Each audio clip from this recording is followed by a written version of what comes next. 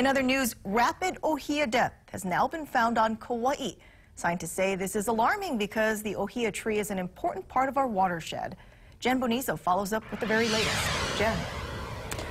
Marissa, the infected trees were found in a remote location on Kauai. Scientists say they are unsure how it got there. Since the disease was discovered back in 2014, they still have more questions than answers. I think it's very serious that we've detected a pathogen that we know can kill ohia on an island where we didn't know it existed before.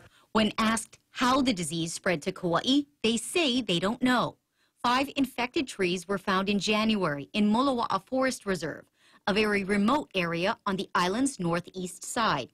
They tell me the fungus may be on other islands and they just haven't found it yet. It's definitely a possibility, and we've been running surveys, aerial surveys, uh, across all of the ohia forests in the state twice a year, trying to pick up those. Scientists say there is one upside. So we're, we're confident of what we're looking at, which is the less aggressive species and not the more aggressive species. So for that, we're quite thankful. There are 14 different varieties of ohia in the Hawaiian Islands. This is ohia mamo all 14 varieties are being impacted by rapid ohia death.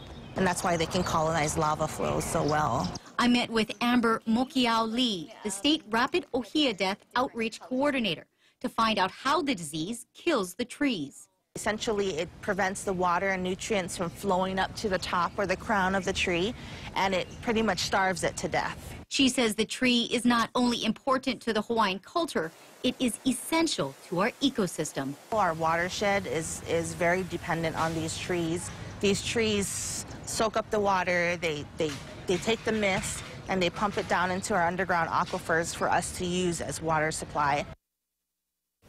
I'm told there is no treatment for the disease yet. The best way to prevent the spread of rapid ohia death is to avoid injuring ohia trees because the fungus gets into the wound and that's how it infects the tree.